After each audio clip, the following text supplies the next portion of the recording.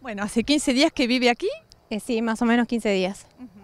Vamos viendo que una de sus piernas está con alguna lesión, pero va zafando, va recuperando. Sí, ya hicimos una semana de antibióticos y ahora estamos con curaciones diarias en ella.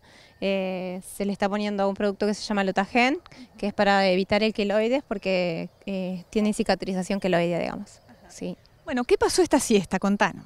Hoy estuvimos con los veterinarios Alejandro Enríquez y un colega de él eh, que vino de Santa Tomé a hacer una ecografía a Gregorio que él eh, tiene una displasia, digamos, en la cadera, tiene descalzada en la cabeza del fémur, se le hizo una ecografía para ver cómo está el tratamiento, él hace 45 días que está en reposo, o sea que está en un box, para que no camine, a, ver si podemos lograr que se forme una fibrosis en esa cadera. ¿Dónde vivía Gregorio? Gregorio estaba en calle Hernán, en, perdón, en el Volcadero. ¿Y esta llegó a Esperanza? Esperanza estaba en calle Hernandarias.